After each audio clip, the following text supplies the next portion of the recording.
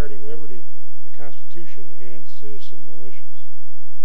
Uh, he's held, beyond just being a, a uh, the executive director of a very powerful and influential pro-gun organization, he's also held elective office. Not many people probably outside of Virginia know this, but he held elective office in the state of Virginia, serving in the House of Delegates. He directs, as well as Gun Owners of America, his interests are not just solely in guns. He's also into other uh, public interest organizations. He serves as the vice chairman of the American Institute for Cancer Research. So Larry's a very, very busy guy. He is nationally known. He is extremely well known and extremely educated on the firearms issue, and he's well versed and well spoken. And I can't think of anybody better to have with us today to address CCW reform on a national basis than Larry Pratt. We're proud to have him here. Would you join me in welcoming, ladies and gentlemen, the Executive Director of Gun Owners of America, Mr. Larry Pratt.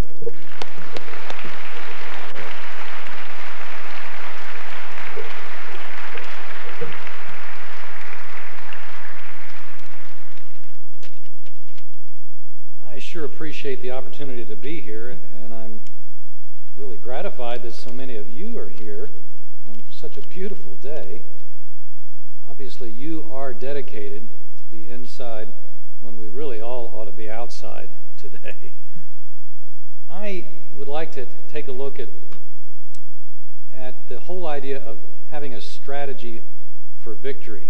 I think for so long, generally speaking, we in the freedom, pro freedom movement, and the Second Amendment community in particular, have had a strategy for playing defense only, and that strategy ultimately is only going to produce defeat. So we need to assess uh, what it takes to put together a strategy for victory, and I'd like to try to make a contribution to that. First of all, I think it would be helpful if we were clear in mind what is it that we seek. Do we want to just have a little bit of an improvement over the present situation? Uh, or do we want to see a restoration of constitutional government in this country?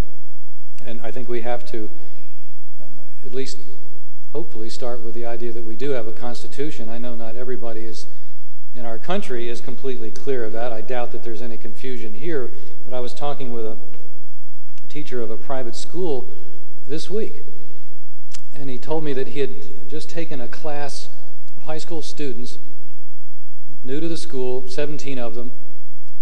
They had come from the public school, and four of them were honor students. And he was able to get them all uh, to answer correctly as to who George Washington was. They had that. But they didn't know when the Declaration of Independence was signed. Only two of them knew two of the Bill of Rights. The rest didn't know any. Um, they didn't know against whom we had fought in World War II. Uh, only two of them, with a little prompting, could figure out that it was Iraq that we fought uh, over in the Gulf War. Um, but the most critical thing, it would seem to me, if we don't know what our freedoms are, that we're supposed to have them, and what it means to have them, and how they're to be used, and why they're important, there's really, it's all over. Uh, we might as well just uh, stick our hands out and have the shackles put on. And I think some of the folks in Washington would probably like to have us do that. Now, I think we need to be clear in our own mind about what our Constitution does mean and what kind of a government that was being set up. Because if we don't have that in mind, then we don't really know what direction that we need to move toward for a strategy for victory. When we're talking about a strategy for victory, I think we need to be clear that there, our government has been set up, and nobody's changed it legally. I know it's been changed a lot in practice. The law is, the Constitution is more ignored in the breach than it is in observation, but still, it is the law of the land, and those who don't uphold their oath of office are doing just that. They're not upholding their oath of office. And there's a number of words that we could use for people like that, but we'll not get into that right now. But the basic issue, it seems to me, is that that form of government, that Republican form of government that was set up, is one of very limited powers that we granted to the government. And you see, it seems to me, and I sure get a nose full of it in Washington all the time, and I don't think it's very different here in Lansing or in other government centers around our country. The idea increasingly is that somehow the government has rights, and you and I have only one right, and that is to do what they say. It's just the opposite of the way our government actually is still on paper. It's still there. They can only do what has been explicitly delegated to them. That's the whole idea of the 10th Amendment. They didn't think Article 1, Section 6 of the U.S. Constitution was clear enough. The Anti Federalists were very concerned uh, that it be tied down even further than those 18 delegated powers that were listed. The Federalists, frankly, it turns out, were a bit naive, if not well intentioned, certainly, but uh, they thought that, well, that was enough I mean, my goodness, who, who would have any confusion about that? Well, they didn't have the ability to see 150, 200 years further beyond, but there's been plenty of confusion, willful or not, regarding that whole concept. And the Tenth Amendment, happily, is quite clear that if it's not something that's been delegated expressly to the federal government, uh, then it's retained by the states and the people. Now, that used to be kind of a joke in law schools. Students were told that if they wanted a losing defense, then raise the 10th Am Amendment sometime because that meant nothing. Well, you know, legal service uh, public defenders aren't always the, the, the nothing people that they're sometimes depicted. And a fellow down in San Antonio took a case for a high school punk called Lopez, who had sold a gun on a school and thus violated a federal law that said you can't have a gun within a thousand feet of a school's boundary. And the case went all the way to the Supreme Court, and the Supreme Court did something that I frankly didn't think I would see in my lifetime. They rediscovered the Tenth Amendment.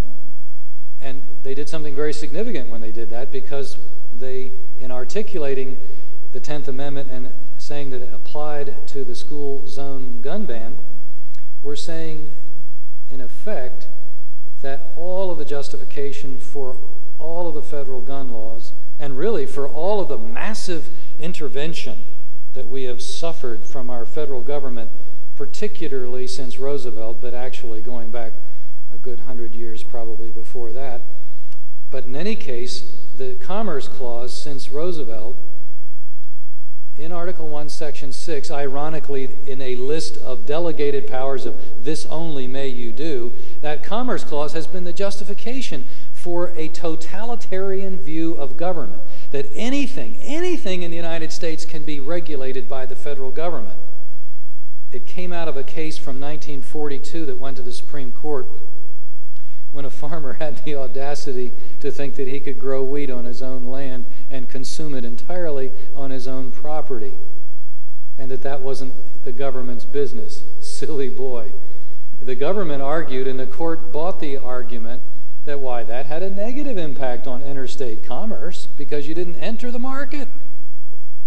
And based on that, the government has been simply the only thing that's held them back is our opinion. But once we aren't looking, they move in quickly using that as their justification. Well, happily, uh, under this court, particularly under the leadership of Justices Thomas and Scalia, uh, there's been a rearticulation, a rediscovery uh, of our lost rights. Madison was so clear about it. In one of the Federalist Papers, he talked about the government that we have created has few powers and they are limited, and we've left all the rest of the states. It doesn't get too much plainer than that. That's just a, a rephrase of the 10th Amendment. These guys weren't hiding their rationale under a basket. And yet, when I came out here and debated uh, not too far from here before a three judge panel in a mock court, the judges at the end said, Well, we're bound to uphold the rulings of the Supreme Court. That's odd. I didn't think that was in their oath of office. I thought they were bound to uphold the Constitution. you know, silly me. You know, I just, I'm not with it. Uh,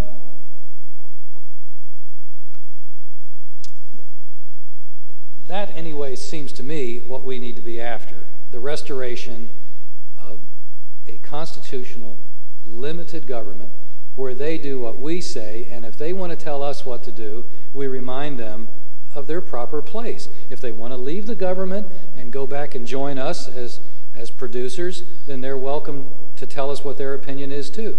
But frankly, I'm not interested in their opinion unless I ask them, and I usually don't have a mind to ask them what their opinion is. Uh, I hear entirely too much, uh, certainly where I come from. I don't want to hear any more from them. I want to hear only from them yes to the Constitution and no to all these other excesses, which are frankly illegitimate, without authority, and if you really pushed, I guess you'd have to say criminal. Some want to even go further. Patrick Henry uh, raised the T word and backed away from it, sort of, and said, well, if this be treason, let them learn from history. And indeed, let them learn from history. It would be a neat thing to be teaching that again in school. Imagine honor students not even knowing when the Declaration of Independence was signed uh, or what are in our Bill of Rights. That used to be a requirement in many, many of the public schools just to get out of high school. Had to pass a test where you could at least summarize, list uh, the ten first 10 amendments to our Constitution. Our present condition, Uh, I think it helps to be clear about that and, and to put it up against the model of the Constitution and the light that it can shine on the, the mess that we're in now. I suppose all I would have to do to discuss this idea of our present situation would be to read the Declaration of Independence. If you've ever read through that, it's a list of government abuses and excesses, and it sounds contemporary. You know that part about you have sent, it's addressed to the king, although they knew it was really the parliament that was uh, sticking it to him. But anyway, you have sent upon the land a host of, of uh, government officials to eat out our sustenance. Well, when they are taking about 50% of what you and I are making, or trying to make, I would say that's eating out sustenance, and that's a whole lot more than they were belly aching about. It was nowhere near, they were worried, frankly, that if they didn't get control of the crown and reestablish the exercise of their rights as Englishmen, why, those rascals in London might push it to even 5% taxation level. I'm not sure what to think of us when we're not even really serious about pushing them back at 50% or wherever we are uh, today. Uh, but we're certainly paying for a system that is increasingly oppressive. Maybe some of you have seen a recent article by Joseph Farah of the Western Journalism Center, which went into a little detail about the growth of the federal police establishment. Didn't go into, well, actually, without saying it, he described the militarization of the federal police. Now, I think it's important to remember that as late as 1934, an assistant attorney general for Roosevelt, Mr. Keenan, went up to the Hill and testified and said, The federal government has no police power. That's a direct quote. Imagine a representative of one of the greatest socialists in our country read the Constitution as late as 1934 to say that the Federal Bureau of Investigation should be nothing more than a Bureau of Investigation. What are they now? I would say that the Federal Bureau of Investigation has become one of the main reasons for the corruption of law enforcement in this country because their idea of law enforcement is military. They are secret. They don't wear their badges like Officer O'Malley used to on, when he was the cop on the beat. They don't wear their name. They don't even usually put FBI when they're doing their SWAT raids. And SWAT raids are really euphemism for paramilitary operations. And let's get it straight. A military operation is designed to do one thing, at least if it's done competently, and that's to hit and wipe out the target as quickly as possible. That's not what police work's all about. You know, if they think you've got a paperwork error, they send the EPA SWAT team on you now. There's no idea of sending an auditor. You know, FEMA has Federal Emergency Management uh, Administration has a SWAT team. They gave some money, which they had no business giving anyway, but they gave some money to Clearwater County, Idaho, where Orofino is located. It's the hometown of Congressman Helen Chenoweth. They hit the county offices with a SWAT raid and took their computers and all their records because they didn't think the money that was being used for flood relief was being administered the way they would like. And so they hit them with a paramilitary operation. There's something fundamentally wrong with that attitude that they don't send a real cop, they don't send an investigator or an auditor or something like that, but they send a military operation. Something very, very wrong. That, by the way, think about it, is exactly the situation that we had to deal with under King George III. We didn't have police. It was all military. And these guys then, just like military today, don't really know how to spell search warrant. It's not in their vocabulary. search and, and seize, uh, search and destroy, those are the words, but search warrant, that doesn't compute in the military mind, nor should it. I'm not criticizing the military, criticizing cops who can't make the distinction. And I'm certainly not criticizing all cops. Thank God there's still many thousands uh, represented by uh, so ably by a guy like uh, Jim Fotis of the Law Enforcement Association of America who still believe in the Constitution and understand what police work is supposed to be all about. But they are running against a real tough trend. Because what's the first thing that happens when we elect a sheriff? Elect a sheriff. The law says in most states he's got to go to, to Washington, actually to Quantico, Virginia, and he's got to learn how to be a real cop by studying under the FBI. Well, what do they teach him? Oh, you know, water cannons, armored personnel vehicles, uh, fully automatic, large caliber, heavy caliber weaponry, uh, SWAT raids, military tactics. That's the idea, and that's how a lot of this corruption is occurring. And then instead of sheriffs exercising their proper authority and telling these lawmen, at least in the states that haven't yet made federal agents into state law enforcement agents, giving them arrest powers as if they worked for the state or the, or the county, sheriffs uh, are rolling over and not, uh, uh, not saying, well, wait a minute, let me review what you're doing. You're here as my guest because I'm the chief law enforcement officer in this jurisdiction. And even if they can say that, they're not exercising that authority because they've been buddified. Uh, they're all buddies now uh, with the guys there in Quantico.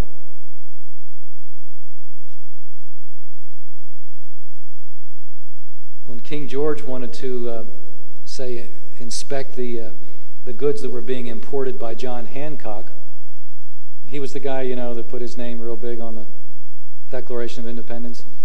Uh, we still say, put your John Hancock here.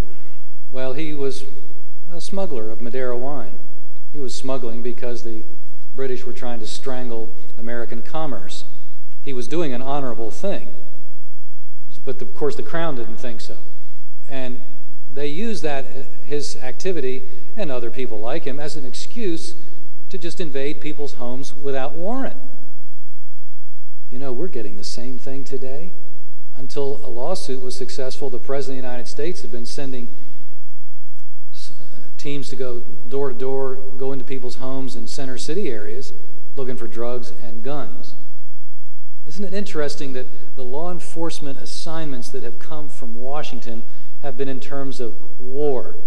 even when they weren't law enforcement, it's been war on poverty, war on drugs, war on this, war on that. Those words are not accidental because they invoke powers behind those words. They at least invoke things in our mind. And we, oh, we're at war, so we you know, have to have uh, special measures and we have to look at things differently. We're not at war.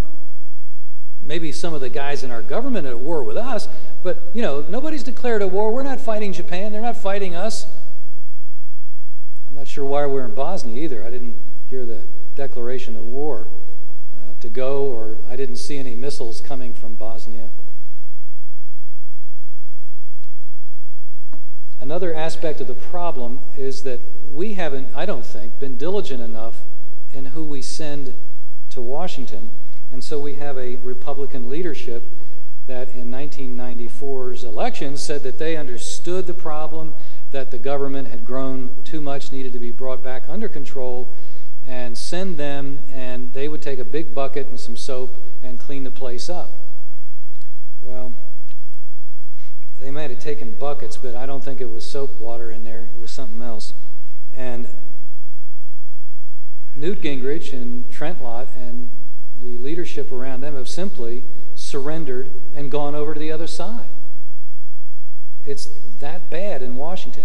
If anything positive happens, it's because some of the feistier members among the conservatives do things anyway. When the House voted to repeal the ban on semi automatic firearms in 1996 that had been passed into law in 1994, it was because Steve Stockman did it over the, if you will, the political dead body of Newt Gingrich, the man who had uh, said that, well, actually, it was Dick Armey that had told me personally that there would be a vote.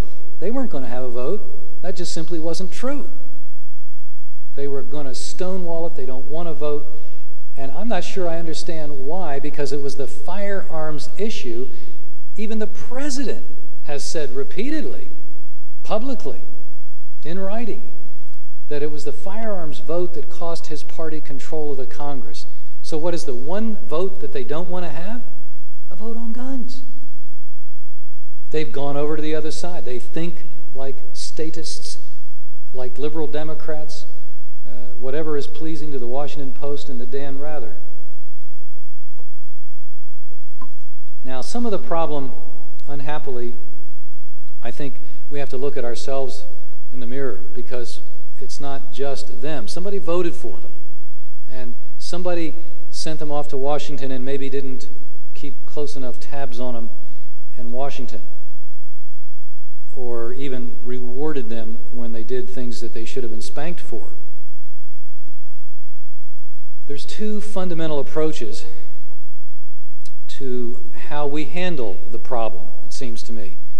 Uh, and it helps, once again, if we think that we are fighting for liberty, this is not a recreation, then a no compromise approach strikes me as not only advantageous, but the only one that makes any sense. But there is a second view, and it's one that has been kind of deeply rooted uh, because this is the one that the politicians encourage themselves. And if you deal with politicians at all, and I've been one, so I can say this,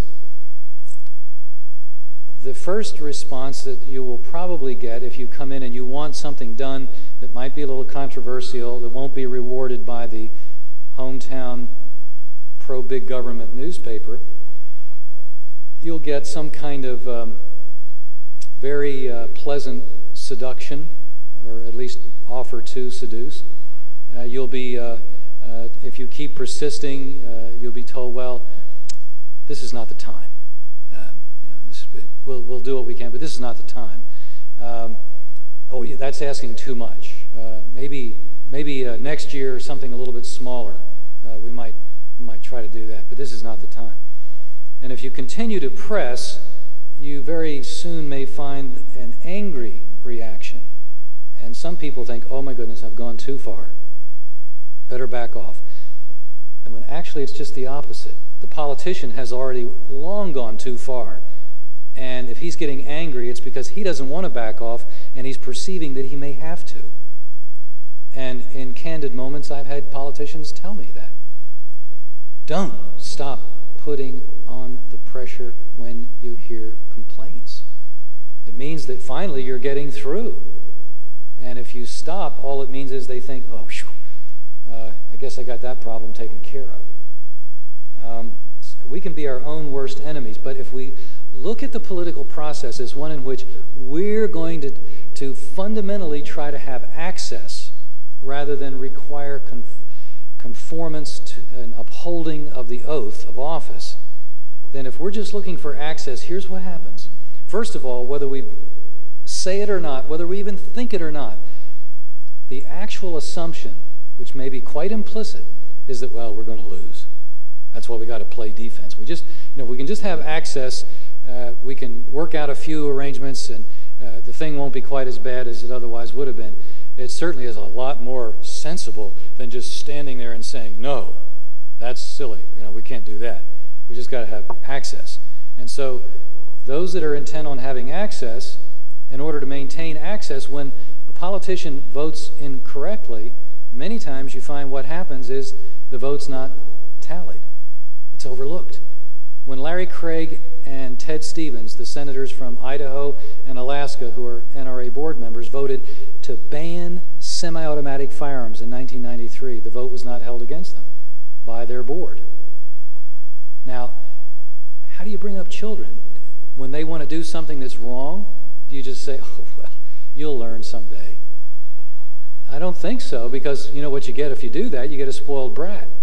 And of course, to get back to the analogy about the angry politician, what you find is when you finally step in and you try to draw the line and say, you got to take your nap, you got to obey your parents. Well, you may be faced with a temper tantrum. And if the temper tantrum intimidates you, then the temper tantrum was successful. And the spoiled behavior continues, just at a noisier level. It's just been escalated, that's all. And then we blinked. Our view is that we are not going to move forward until we are committed holding them accountable as much as possible, trying to get recorded votes uh, on amendments if it need be, um, because often the leadership is going to try to bottle up uh, the legislation itself. But there are ways that uh, in almost every legislative body, whether it's through a discharge procedure or through putting something on as an amendment, that we can get recorded votes. Now, that's a very unpopular thing to do within a body.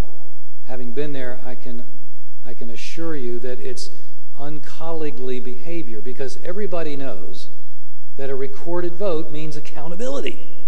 It means that you and I back home, you know, the boobs, well, maybe we won't be as much of a boob anymore because we can see in black and white what was done. We don't have to just take on their representation what they did because, you know, they might have been confused about what they did or they might just be lying.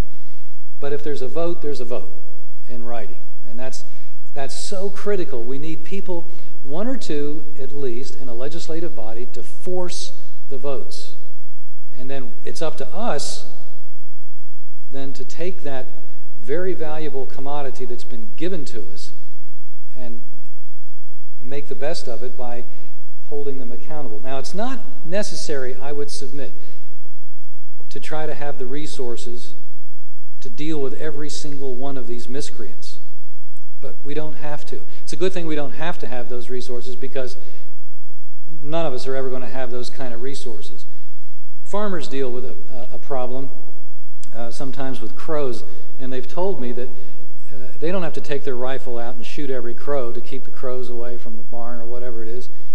All they really need to do is shoot one or two and hang the carcass up on the barn, and the rest stay away. Well, we have found the same thing works in politics.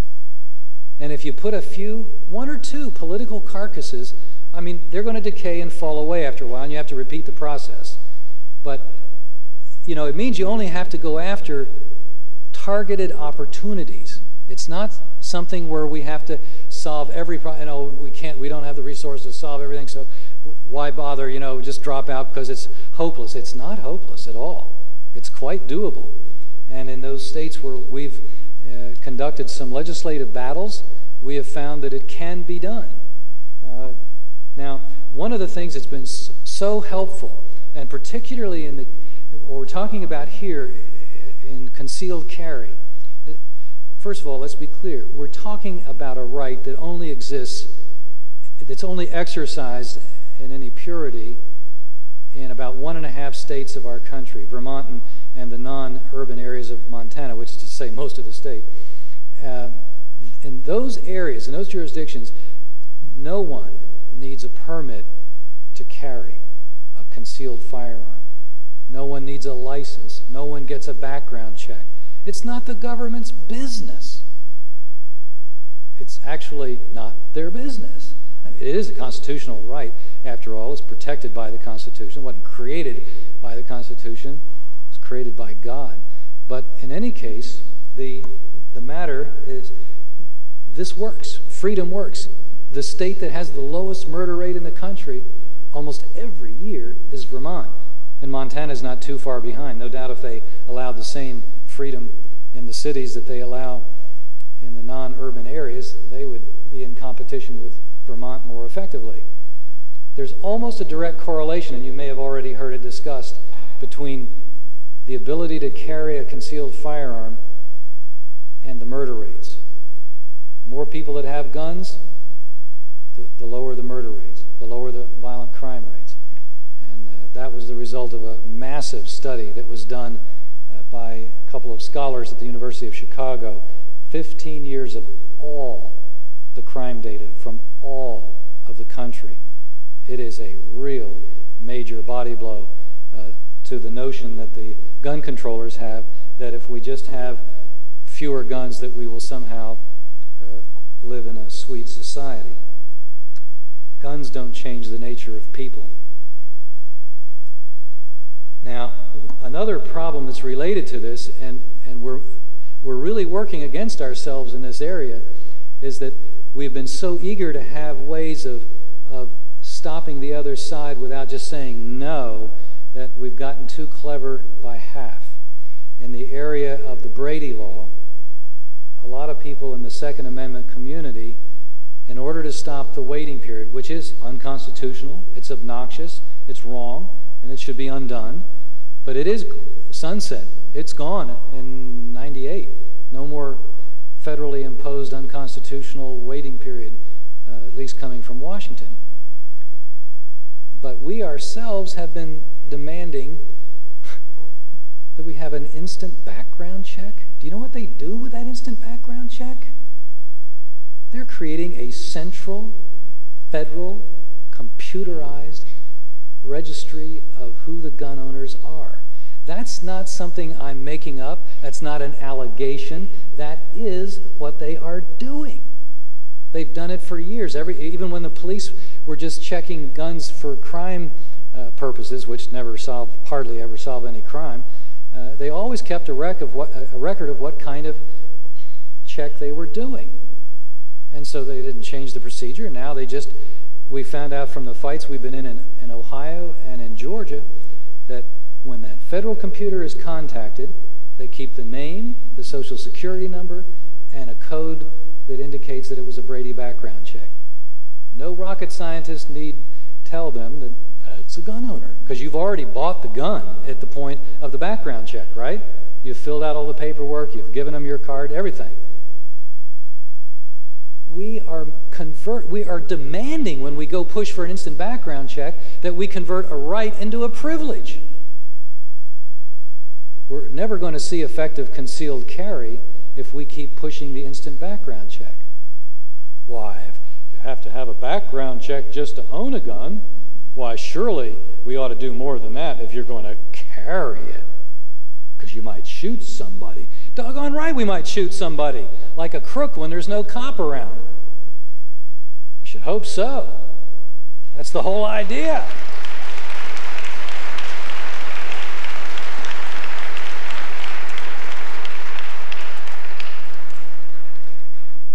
Let me mention one other area that I think is very important if we're going to retake lost ground. I don't think we're going to take it back on just our own terms. Again, a look at history can be very helpful for us and encouraging, actually. In broad terms, what we were looking at at the time of our war for independence was a second English Civil War, something that had been going on for 130 years.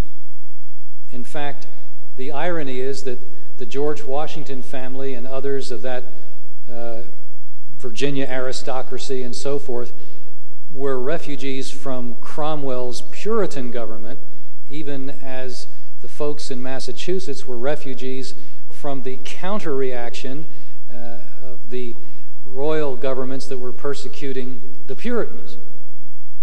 And yet both had come together 130 years later, and all of them had become Whigs. Now, I didn't really understand what a Whig was, even when they had the word in my textbooks when I was in school, and that was quite a while ago. But basically, the Whig was the fellow who took the ideas of the Scottish Reformation, which hammered out the idea from especially Romans 13 that talks about the role of government in the Bible. And the role of government is real simple and real limited. As, as it says in, in the first verses of that chapter, the magistrate is to be a servant for your good. Imagine a servant. That's an unusual idea these days, I realize. And for your good. And of course, the Bible does talk a little bit about what is good and what is bad. So, you know, it gives you a few clues as to what the government is supposed to do and what its limits are. And the result of that entered the English, the British political uh, system as the Whig political philosophy that at root had a real simple idea. Lex Rex was the name of a book written about the subject. The law is above the king. And of course, the king had just the opposite idea Rex Lex. I am the law. When I speak, that is the law. I'm above the law. I can do whatever I want. And so, for 130 years, that idea was hammered on, first uh, in England and Scotland, and then uh, over here in the colonies.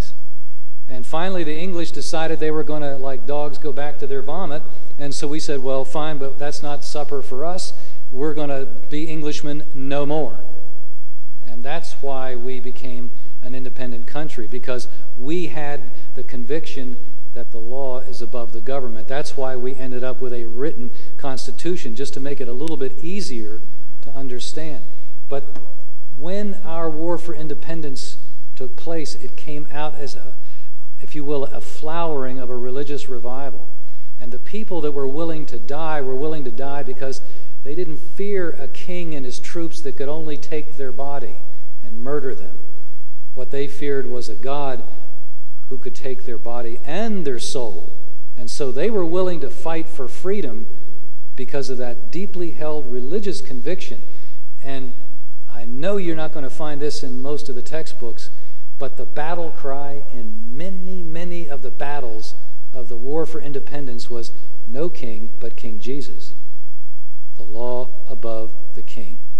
Isn't that interesting?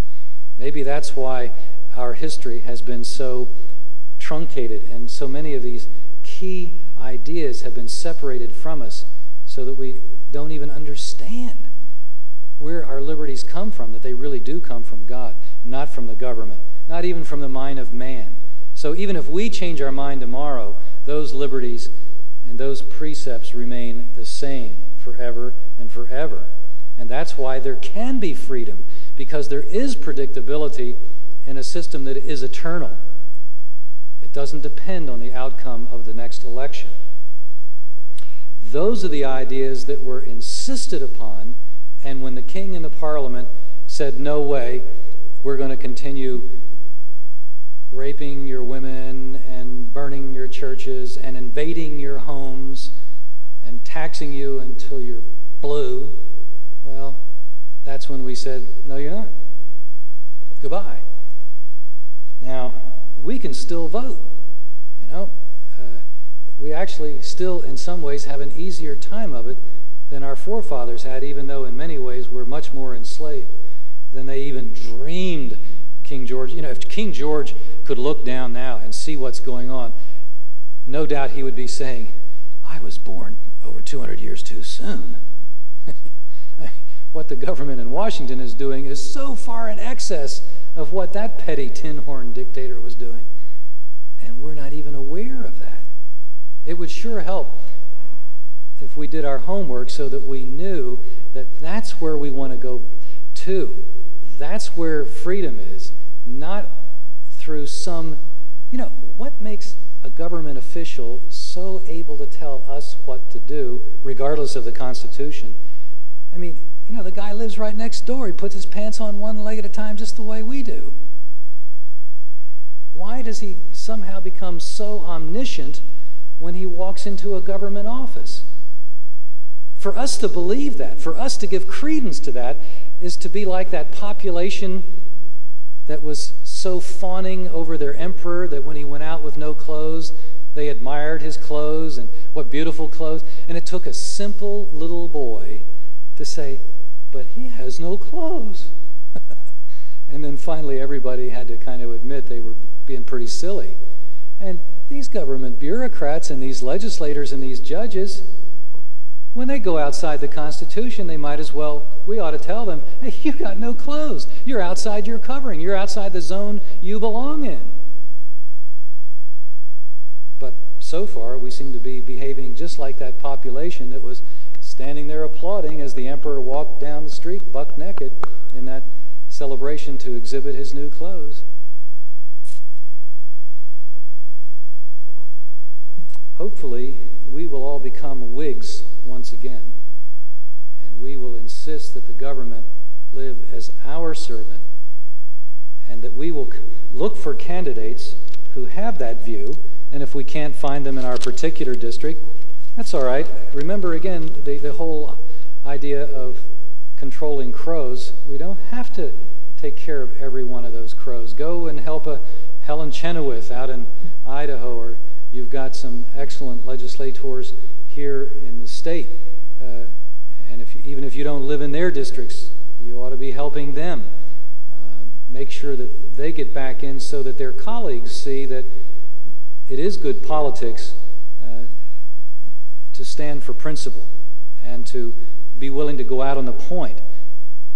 It's kind of hard to remember. I know it doesn't make sense, but it's kind of hard to remember when you're in a, a legislative arena hard to remember that the folks around you, the 50 or 100 colleagues or whatever in your legislative body, are not your constituents.